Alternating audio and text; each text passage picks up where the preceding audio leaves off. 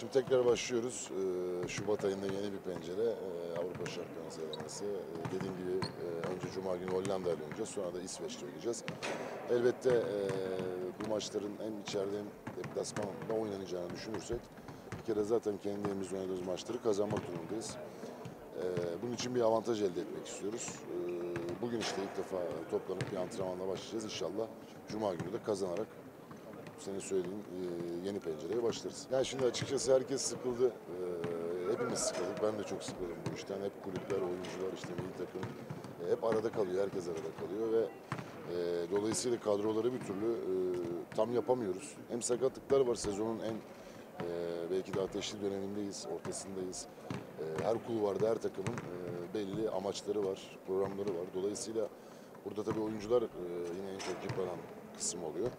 E, Larkin'in biliyorsun bir sakatlığı olmuştu. Onu kadrodan 16 kişilik bir kadro açıklamıştık. Ekibimizle beraber teknik ekip olarak. Ama bu kadrodan onu e, çıkarmak durumunda kaldık. E, sonradan da tabii e, Sertaç ve e, Buğra'nla ilgili Anadolu Efes'in bir isteği e, oldu. Tabii ki bu e, yönetimimizin kararı, federasyon e, yönetiminin bir kararı. İzin verdiler. Sertaç'la e, Buğra'yı göndereceğiz. Cuma günü olmayacaklar. Hani ondan sonra nasıl olacak, oraya mı gelecekler ben de orayı tam şu an kestiremiyorum. E, çok bir karışık böyle bir süreç oluyor. E, çok yeni arkadaşlarımız var. İlk defa Ami takım forması giyecek e, oyuncu arkadaşlarımız var. Genç arkadaşlarımız. işte Şemus olsun, Muhsin olsun, Burakcan olsun. Bunlar yeni e, isimler. E, elimizdeki kadroyla en iyisini yapıp bu iki maçı kazanmak için e, çabalayacağız sahada. İnşallah işler istediğimiz gibi gider. Ya tabii ki şimdi saydığın isimler önemli isimler. Bizle beraber e, o düzenin içinde olmuş isimler. E, keza işte Skati de yok. E, ve Larkin de yok. Devşirmemizi de e, kullanamıyoruz. Ama bu zaten pencerede NBA oyuncularımızı buraya getiremiyorduk. E, dolayısıyla genç e, diğer arkadaşlarımız için de bu bir e, önemli bir fırsat.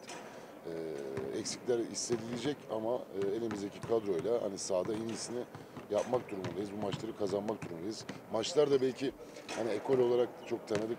Özellikle basketbol severler çok tanıdık gelmeyecek Hollanda ve e, İsveç ama e, ters rakipler çok e, hani hızlı oynuyorlar.